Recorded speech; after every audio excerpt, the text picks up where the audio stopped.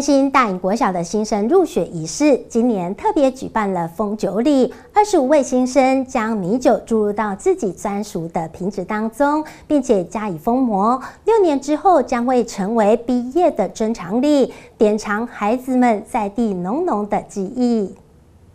大隐国小是三星乡间的田园小学，为传承保留米的文化，入学仪式特别与在地知名企业中福酒厂合作。举行第七十九届新生封酒礼，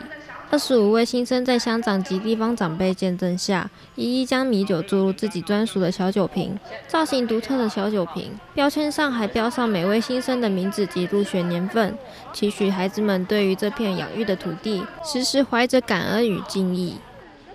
啊，第一届的举办着长久，就是讲咱用咱在地米来在地的这酒厂来制作在地酒。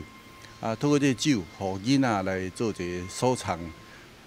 等于是一个记记忆的一个怀念啦吼。啊，未来的几年后了，伊当用打开酒的那种香气啊，来回味伊伫学校点点滴滴，嘛更能够怀念师长对因伫教育过程这用心、甲感念、感念、感恩。封膜完成的小酒瓶，在封酒礼活动后，将送至校史室统一保存，等待六年保存成香。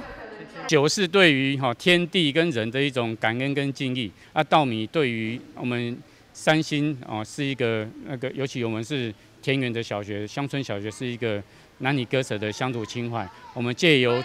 跟中福酒厂合作的封米酒礼，让孩子们学会